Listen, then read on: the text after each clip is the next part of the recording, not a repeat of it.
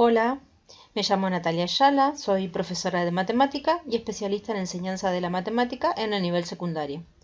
Trabajo como profe en la escuela secundaria de la UNER, esto es en Concordia, en la provincia de Entre Ríos. La propuesta implementada con mis estudiantes es el trabajo con el grupo de WhatsApp.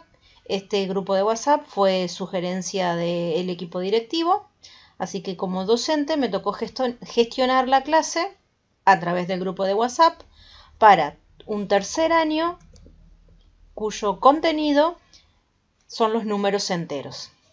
La propuesta es em, mostrarles una imagen, en este caso Homero, que está parado en el escalón número 2 y que la flecha indica que va a descender cierta cantidad de unidades. Y a partir de esto los estudiantes em, tienen que responder hacia dónde, en qué escalón va a terminar Homero después de descender. Los estudiantes van respondiendo y a partir de eso vamos viendo cuáles son sus respuestas, las que están correctas, las que no, las que no están correctas por qué.